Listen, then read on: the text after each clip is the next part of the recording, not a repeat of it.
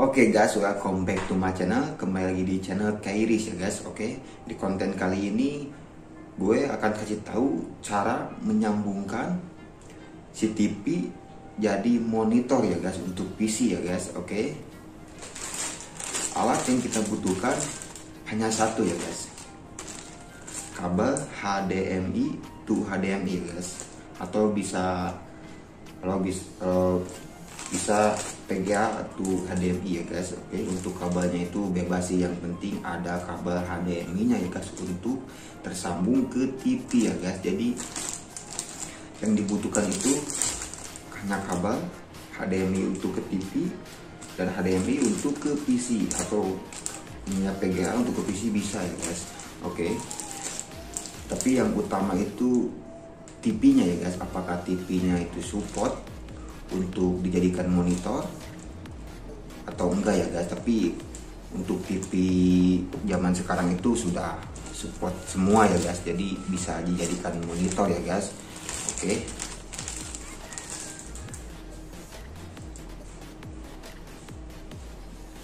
paling segitu untuk alat-alatnya. Dan ke mana-mana tonton terus biar kalian tahu ya guys cara menyambungkan dan menjadikan TV untuk jadi monitor ke PC ya guys. Oke? Okay? jangan ke mana-mana. Tonton terus. Let's go. Lanjut ke tutorialnya cara memasangkan si kabel HDMI ke TV biar jadi si TV ini jadi monitor ya guys untuk PC ya guys. Oke? Okay? ini posisinya jadi TV ya guys. Ini posisinya TV yang pertama-tama kalian itu colok colok si kabel HDMI ini ya guys. Ke belakang ya guys. Oke. Okay. di sini sudah di belakang. Ini adalah kabel HDMI di PC dan di sini adalah kabel HDMI untuk di TV ya guys. Jadi si kabel ini itu kalian tinggal colok aja ya guys. Seperti ini. Ini colok ke HDMI Oke. Ini sudah terpasang ya guys untuk si HDMI-nya ke PC. Yang kedua itu kalian tinggal colok ke monitor. Ke monitor.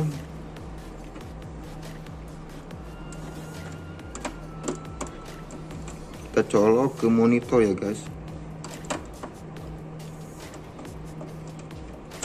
Oke. Oke, ke monitor ke TV sudah dipasang. Ke PC sudah dipasang ya guys. Kita langsung cek. Ini masih posisi TV ya guys. Jadi yang selanjutnya itu kalian tinggal pilih di sini input. Hmm. nanti akan di sini ada TV input satu input dua. Jadi tinggal kalian tinggal pilih input satu. Hmm. tuh. Langsung tampil ke monitor. Jadi jadi monitor ya guys. Si TV ini ya guys. Untuk settingnya itu seperti ini ya guys. Kalian pencet menu.